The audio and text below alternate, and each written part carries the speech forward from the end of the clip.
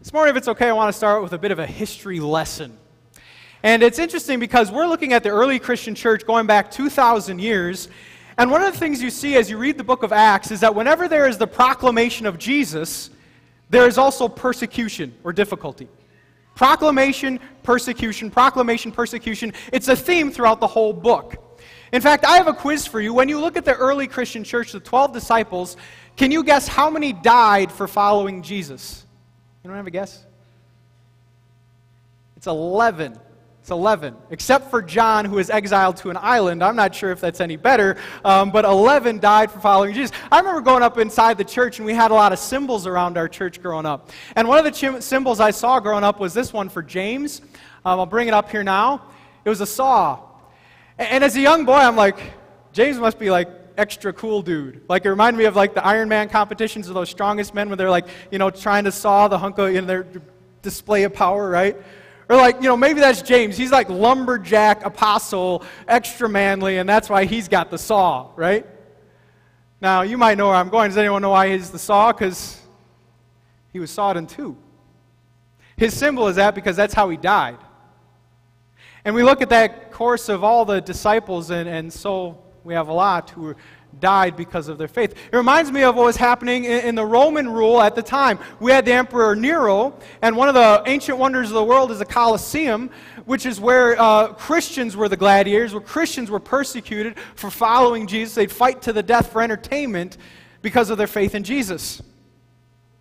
One of the crazier stories uh, about Nero is that he'd throw garden parties, and as lamps for those parties were, were Christians who were burning alive. That's crazy. I look at those stories and I try to relate to my life here, and there's not a whole lot of connection. Following Jesus, thank God, is not life threatening in this country. Following Jesus here may lead to um, maybe being made fun of or different persecutions, but it's not life threatening. That isn't the case for others across the world. In fact, if you want an interesting website, persecution.org will follow some very hard journeys in, in order to follow Jesus. In fact, if you're following the news, have you heard the story of this man? It's uh, Pastor Saeed Abedini. Anyone hear of him? He is a 33 year old pastor. His family lives in Boise, Idaho. He has two, two uh, children. And he's right now in Iran, one of the most brutal prisons in the world. The reason he is there is because his family's from Iran. And while he was visiting his family, he started to, to preach about Jesus and organize the, the Christian church there, and because of that, thrown into prison. Currently, his situation's horrible. He'll get beaten. He'll be in the worst circumstances without hospitalization. His attorneys say that right now he has internal bleeding, but they won't treat him. They won't take him to a hospital. He just has to suffer through this. You might have heard the name because his wife is working to put this in the forefront of everyone's attention and, and, and try to get him out and resolve this. Now, when we look at the saw, when we look at what he's going through being separated from his family, would any of us have the audacity to call that sweet? Would any of us have the audacity to say, oh, that's a good thing? He sure is blessed for what he's going through.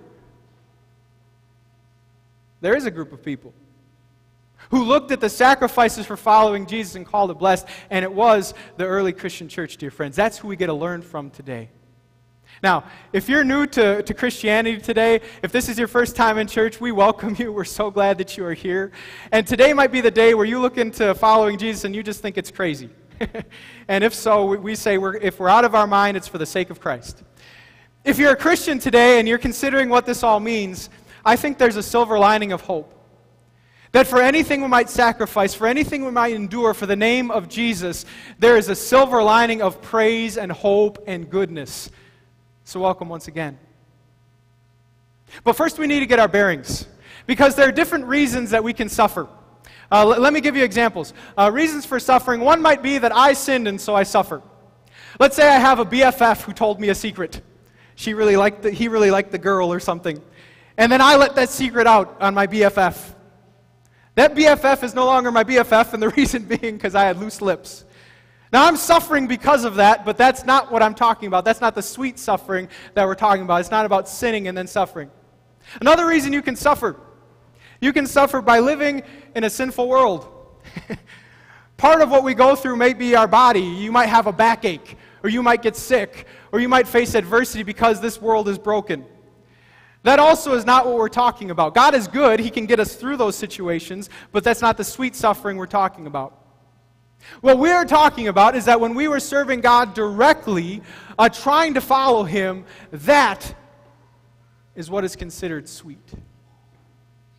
The sacrifices, the sufferings, exactly for trying to do God's will. Or at least that's what the early Christian church thought, as we hear from our lesson. Let's get into it. Let's see what they endured and see their reaction from Acts chapter 5. Uh, we read in the middle of page 7, invite you to follow along. Peter and the other apostles replied, We must obey God rather than human beings. This is the second time they were brought to a court, and they were threatened by death to stop preaching the name of Jesus. we must obey God rather than human beings. The God of our ancestors raised Jesus from the dead, whom you killed by hanging him on the cross. God exalted him to his own right hand as Prince and Savior, that he might bring Israel to repentance and forgive their sins. We are witnesses of these things, and so is the Holy Spirit, whom God has given to those who obey him. When they heard this, they were furious and wanted to put them to death. But a Pharisee named Gamaliel, a teacher of the law, who was honored by all people, stood up in the Sanhedrin and ordered the men to be put outside for a little while. Then he addressed the Sanhedrin Men of Israel, Consider carefully what you intend to do to these men. Some time ago, Theudas appeared, claiming to be somebody, and about 400 men rallied to him. He was killed, and all his followers were dispersed, and it all came to nothing. After him, Judas the Galilean appeared in the days of the census and led a band of people in revolt. He too was killed, and all the followers are scattered. Therefore, in the present case, I advise you leave these men alone. Let them go. For if their purpose or activity is of human origin, it will fail. But if it is from God, you will not be able to stop these men. You'll only find yourselves fighting against God. Well, sweet speech persuaded them. They called the apostles in and they had them flogged. Then they ordered them not to speak in the name of Jesus and let them go. The apostles left the Sanhedrin rejoicing, rejoicing, because they had been counted worthy of suffering disgrace for the name. And day after day in the temple courts and from house to house, they never stopped teaching and proclaiming the good news that Jesus is the Messiah. That is an incredible story. The apostles who are threatened by death, who are beaten within an inch of their life, rejoice to have encountered worthy of suffering for the name. That's what we get to talk about. May God so bless this discussion today. Um, you know, as we get into it, I want to talk a little bit about roller coasters. Um, I, I, I, know that in uh, Six Flags Great America, they have Goliath coming out. Kind of cool, kind of cool. Any roller coaster fans? I know I've shared this, but I am not so good on roller coasters. Um, in fact, I don't go to Six Flags. I can't handle any of them. I got sick on the Whizzer. It's awful. It's just an awful, awful thing. Um, but I do go to Disney World. I remember going to Disney, and Disney World's roller coasters are a little bit more tame. And, and they had a new one coming out, and uh, I won't share the name because I don't want to wreck it for you, but uh, built up by the newness, I wanted to go on. I wanted to experience it. But I should have considered what I was signing up for before I went. I get on the roller coaster, and uh, everything is done well. That's Disney. The storyline, the ride is pretty good. And all the while, my body is saying, you know, this is okay, but you're pushing it. And I'm thinking, I'm going to make it through this ride and have a blast, and it's going to be great until until I get to this. Now, at this point, I, I recognize that the railings have fallen off. And so I'm like, are we going to go like, is there a, a, a drop down, a bottom? A, what's going to happen next? Well, does anyone know what happens next? You go backwards. Now, I did not sign up for going backwards, and neither did my stomach. and my stomach let me know that. and it wasn't pretty. And so I'm here to tell you, you need to know what you're signing up for. If I knew I was signing up to go backwards, I would have not gotten on. That's the same with following Jesus. I don't know what your perception is of what it's like to follow him. A lot of it is good. In fact, it's a very blessed life. He is here to give you a marvelous peace and joy that transcends everything. He is here to give you direction on, on how to treat people, on what to do with your money, on, on, on, on your relationships, on so many things. But I'm here to tell you that it is not a life of ease. I'm here to tell you it is a life of peril and it can be very, very difficult. You might not lose your lunch, though you may. You could even lose your life. And Jesus was upfront with that. Consider these words. Jesus said to his disciples, The student is not above the teacher. You and I who follow Jesus, we're, we're not going to be treated too much differently than him, nor a servant above his master. If the head of the household was called Beelzebub, how much more the members of his house? Jesus was persecuted, betrayed, made fun of. And so he says, You want to follow me? Get ready. You're going to be made fun of. Get ready. You're going to be mistreated. Get ready. It may not go well or easy for you. And that's what the apostles experienced. This is their second time before the rulers who are threatening upon death. Stop talking of Jesus. That's extreme. Kind of reminds me of what some pastors can go through in serving Jesus. I'll never forget the story of one of my friends who was really being persecuted quite harshly for proclaiming Jesus' name and being a pastor for, for no other reason, basically. And, and, and the way he was persecuted was through the World Wide Web. The World Wide Web. And, and there was a site almost dedicated to tearing down his name um, you know, just slander and gossip all over the place and tearing down his ministry as he tried to tell people about Jesus the Savior. It weighed on him. In fact, another pastor, I believe, um, got it right. He said, You're not doing your job as a pastor uh, unless someone is blogging hate about you or calling your church a cult. that was his litmus test if you're doing the job right. Another pastor had to say that for every Christian convert can rise up a critic of the faith. A convert, a critic. And it reminds me kind of physics. Any science guys in here? Science ladies? Anyone enjoy science? Anyone know the, the third uh, rule of Newton's laws of motion? Third rule of Newton's. I'm going to read some of it. Let's see if you can fill in the blank. I got it here.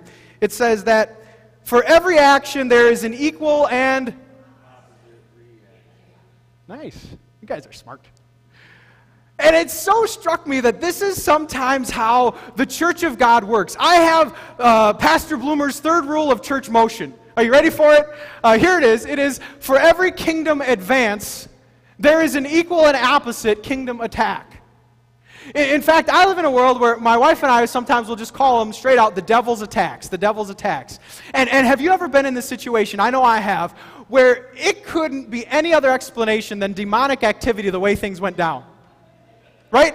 Like you couldn't have planned it worse if you wanted to. Right? I mean, you know, it's a cloudy day and the people get in your way and they make fun of you and then you get an email that's horrible and then and then all of that is just, yep, he's trying to mess me up. I see it. Right? And that is what's going to happen on a regular basis if you want to follow Jesus. I'm here to tell you clearly you will face opposition and persecution in your following of Jesus. That's not a if, it's a when, it is a guarantee. So, what are we to do, Church of God? Reminds me of the phrase when the going gets tough, the tough get. Yeah. And I think we get going sometimes in a different sense. Going not in like sticking in and working harder, but we get going, we want to quit. That's how I want to get going. In our church body, there are a lot of call days going on of teachers and pastors who are being sent out to be these public ministers on a regular basis. Uh, never forget my experience. And before I went, I had my pro and con list. And I remember one thing on my con list was that it's going to be harder to follow Jesus in this occupation. It's going to be more intense, and I'm going to be a bigger bullseye for the devil. And there was a temptation to say, I don't know, I, maybe should do something else. You know what I'm talking about? Maybe you've had this experience that when God is pushing you towards something and God's will is pushing you towards something, and your temptation is to push away. Maybe you've had this experience where following Jesus maybe just got too intense, and so maybe we should just cool the afterburners. We got to take a season off for a bit. Maybe it's a bit more momentary. Maybe it's in our lives where we, we see what would be the easy thing to do, But the right thing to do is more complicated, complex, and there are things standing in the way. Dear friends, we're all tempted to give in. We're all tempted to throw it away. We're all tempted to quit at times, but I'm here to say turn from that. Turn from it, my friends. There's a better way. Don't give in when the going gets tough. For let's look again at the story of Jesus. What's the essence of the story of Jesus? I'm going to break it down real simply. Jesus had to face opposition to save the world. In fact, when I was considering the gospel, I kind of considered it as a commander sending his soldiers. So the Heavenly Father sending his son. And the Heavenly Father says to his son, You know, son, I'm sending you into a sinful, sordid mess. It isn't pretty. Son says, Yep, I'm ready. The father says, You know what, son? They're not going to like you. Most people will hate you. Your best friends will desert you. Your family won't even believe in you. Jesus says, Yep, I got this. Heavenly Father says, You know what? It's going to mean pain. This is the worst possible way to die. Jesus says, Yeah, but with you with me, I can get through anything. Heavenly Father, about that. I'm going to leave you as you bear the curse for sin. And Jesus says, Oh, yeah. But this was the plan from the beginning, wasn't it? Because we love Him. Yeah, we do. Jesus' love is so amazing that facing all that opposition and knowing it, He goes into it because He loved you and He loved me and he's content to bear a cross. He's content to be forsaken by the Father. The reason suffering is sweet, my friends, because it is the source of our salvation. It's our leader who went first for us so that you and I could gather today with victory, knowing we're forgiven, we're at peace, and we have an unequaled, unwavering, unfailing, amazing love for us. So we don't have to run from sweet suffering. We can embrace it if our Jesus did. And this is what I love about Jesus, dear friends. He sees a barrier and he doesn't rethink the barrier. He doesn't pause and say, Well, I wonder if I should do the barrier. He breaks through the barrier. Jesus, who saw the barrier of the Pharisees and says, I'm going to break through that. Jesus saw the barrier of the temptation of the devil and says, I'm going to break through that. Jesus saw the barrier of the cross, and I'm going to break through that. Jesus, who saw the barrier of the grave, and said, I break through that. And we stand here today with the same power available to us. In fact, I want to make a deal with you. I want to make a trade with you. Let us trade God all of the complication, all the mess, all the difficulty. Let's give it over to Him today. From our heart and say, This is hard. And let us now claim the power available to us. The power that says, by the grace of God, if you rose from the dead, you can get me through this. By the grace of God, if you rose me from the dead, you, you can get me the power to go through this, breaking any barrier down.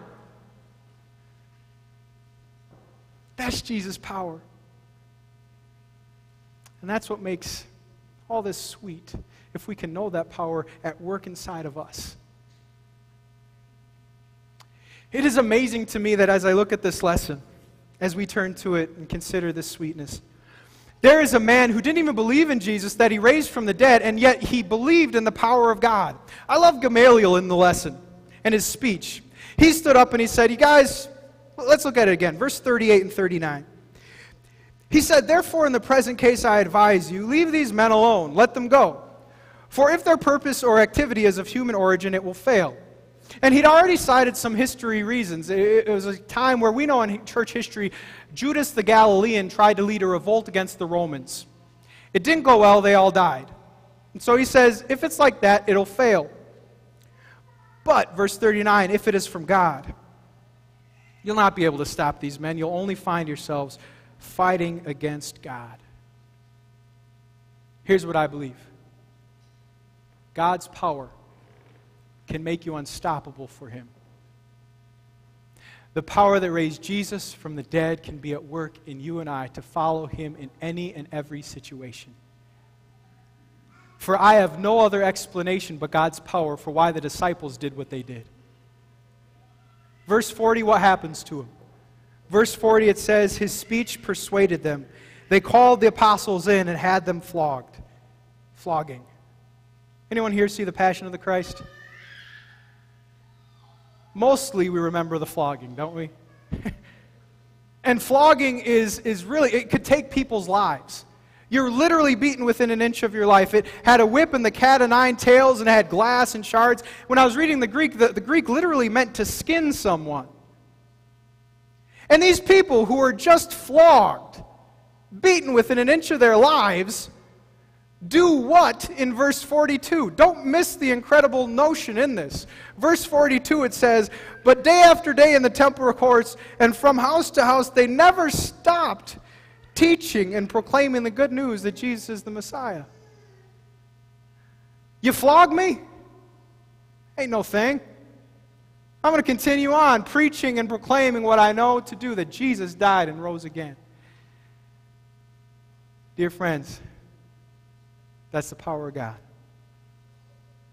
To talk more about how this might work in our own lives, I want to tell you an old preacher story. It's a preacher story about a donkey who fell in a well. Anyone hear this one? A donkey who fell in a well. There he is. Now, when the farmer found his donkey who fell in the well, the farmer said, Well, this is it. I need to close up the well anyway, and I guess I have to say goodbye to my donkey. So he called his friends together, and they got their shovels, and they started throwing dirt on the donkey to close up the well and get the donkey down somewhere where I'm going. Well, as that dirt was thrown on the donkey, it's amazing what the donkey would do. Every time the dirt was on its back, he'd shake it off, and then he'd stand on the dirt. The farmer and his friends would throw more dirt. Donkey do the same. He'd shake it off, stand on the dirt. He'd shake it off, and he'd stand on it. After a while, the farmer noticed this donkey was rising out of the well because he shook it off and he started standing on the dirt. Do you see where I'm going? I'm not sure what you're facing right now to follow Jesus. I'm not sure the naysayers in your life, they can be in your family, at work. I'm not sure if it's dating and, and someone doesn't understand. I'm not sure if it's in a marriage and you're trying to do it well. I'm not sure if it's your kids.